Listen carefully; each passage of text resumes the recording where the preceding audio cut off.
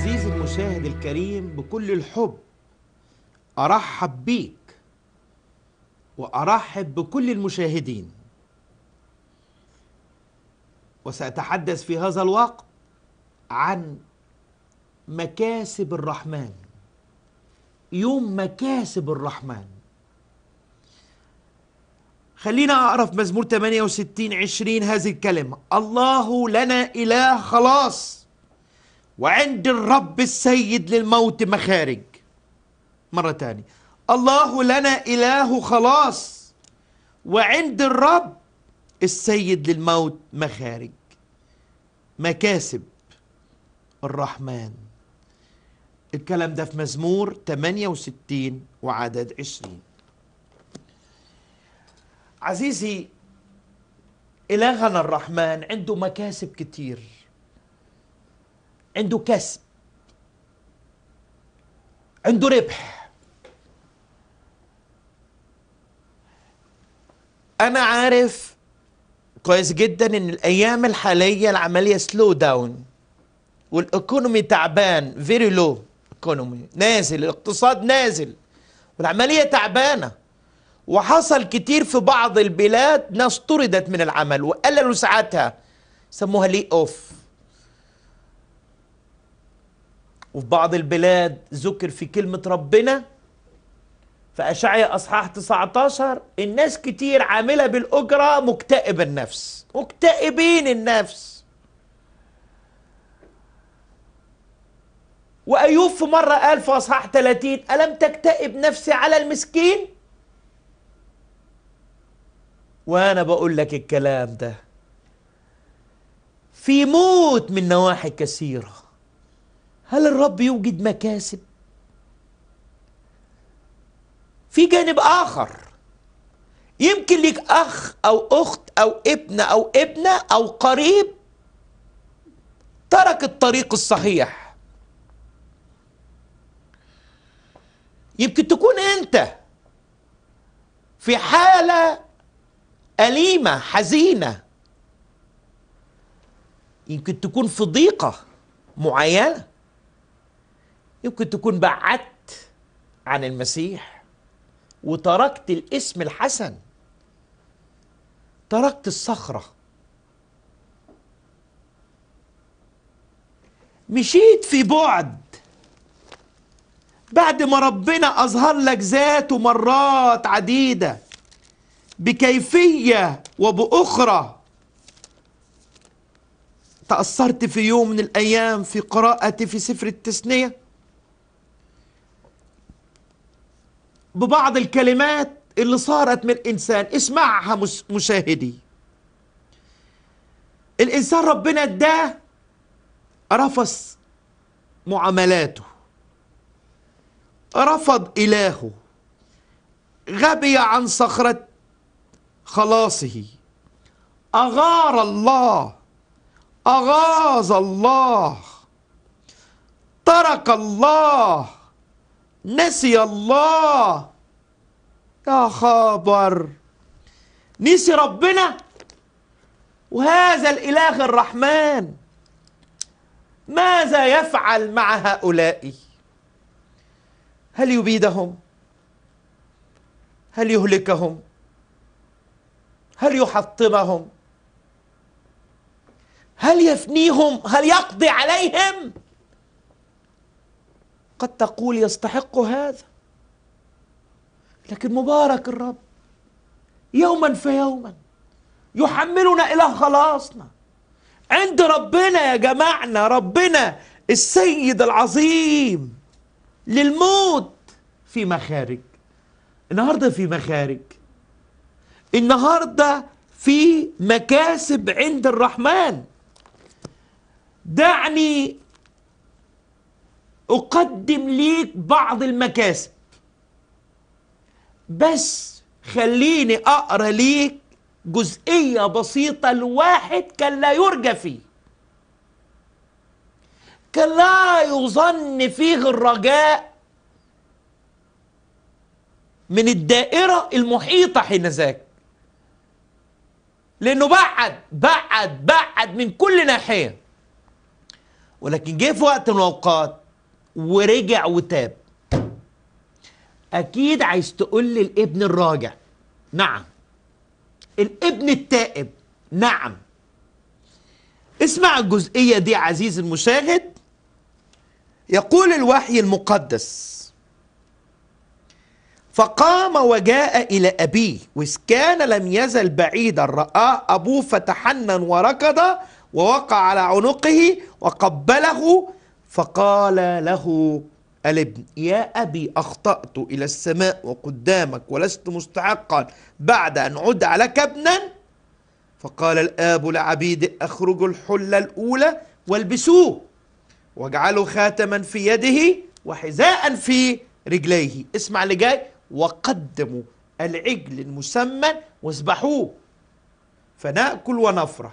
اسمع آخر حتة دي لأن ابني هذا كان ميتا فعاش وكان ضالا فوجد فابتدأوا يفرحون. ترى ما هي مكاسب الرحمن للنفس العائدة الراجعة؟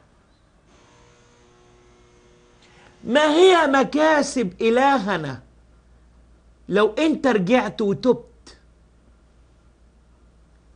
ما هي عطايا ربنا؟ لو أنت جيت دلوقتي واعترفت بخطاياك تحب تعرفها؟ تحب تعيشها؟ تحب تستمتع بيها؟ ابقى معنا بعد هذا الفاصل وسنواصل في مكاسب الرحمن في برنامجك يوما فيوما.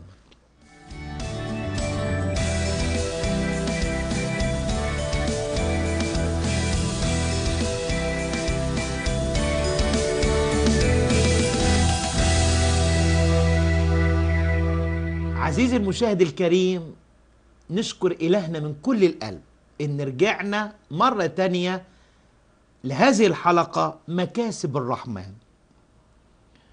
توقفنا في الجزء الأول شفنا مين؟ اللي يتمتع بالمكاسب دي. ودلوقتي هنشوف إيه هي المكاسب. من لوقا 15 دعني أقول لك عن أهم المكاسب وأحلى المكاسب وأغلى المكاسب وأثمن المكاسب المستمرة. مكسب. مش لوتو أو لوتريه زي ما الناس تسمي.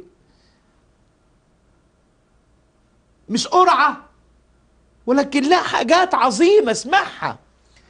في لوقا أصحاح 15 في عدد 20 أول مكسب مجرد ما الابن اعترف وتاب ورجع مباشرة ووصل لأبيه ولسه بعيد أهو وبيقرب. الآب قبله. قبله أول مكسب القبول. القبول. إيه رأيك لما اكتست أنت أو أنت في ظروف معينة؟ في ظروف خاصة وجدت نعمة وقبلت في شغل مميز أو في عمل أو في خدمة أو مع شريك أو شريكة الحياة. مش فرحت؟ مش دي نعمة؟ إذا كانت حاجة أرضية فرحتك كم وكم حاجة سماوية. لما يقبلك وأنت كده وأنت في حالتك في سمعتك بيقبلك. من بعيد رآه تحنن. وربنا لما تحنن وركض ووقع على عنق وقبله ما ادالوش فرصة يستكمل. لسه بيعترف بيقول له أخطأت. قدامك. لست مستحقا أن ندعى لك ابن. قال له ما تكملش. فاداله البركة التانية في عدد واحد وعشرين. مجرد ما يقول له أخطأت تفتكر عمل إيه؟ غفر له خطاياه.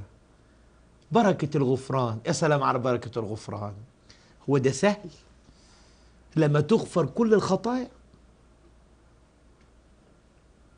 لما تمحى.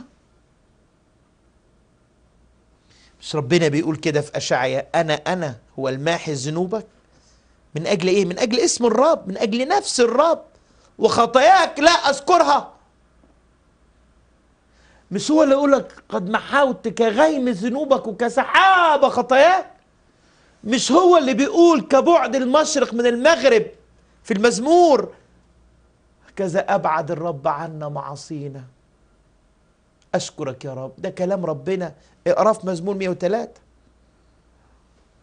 أول بركة القبول تاني بركة الغفران تالت بركة في عدد 22 قال لهم ادوا له الحلة الأولى. والبسوه إيه الحلة الأولى دي؟ دي بقى ثياب التبرير. ألبسني ثياب الخلاص كساني رداء البر رداء التبرير. ربنا بيبررك بالإيمان. استبررنا بالإيمان لينا سلام مع الله. مش بس كده في عدد 22 قال لهم اجعلوا خاتما في يده. الختم هو تأكيد وضمان إن ده ملكي إن ده ابني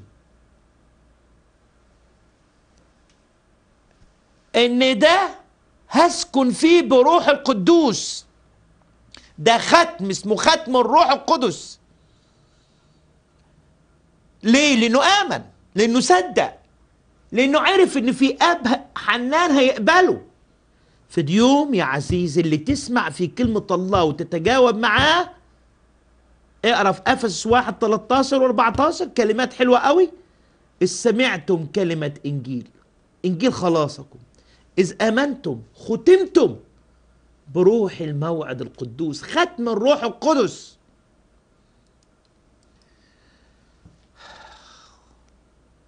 في افسس اصحاح 4 وعدد 30 يتكلم عن الروح القدس أيضا اللي ختم المؤمن. فهنا التبني وختم الروح القدس. ثم في ذات العدد عدد 22 حذاء في رجليه يعني سلوكا جديدا يعني تقديسا. يعني هعيشك في القداسة. يا رب أشكرك. تعيش إنسان بعيد في القداسة. نشكرك يا رب من كل القلب. ثم البركة التي تليها رقم ستة. يمكن تقول لي فين البركات؟ أدهم لك تاني. عدد عشرين في قبول. ثم في غفران في عدد واحد وعشرين. اتنين وعشرين في تبرير. الجزء الثاني 22 في تبني. الجزء الأخير في تقديس. شوف بعد كده. في عدد 23 قدموا العجل المسمن واذبحوه فنأكل نفرح. يبقى في إيه؟ في شركة.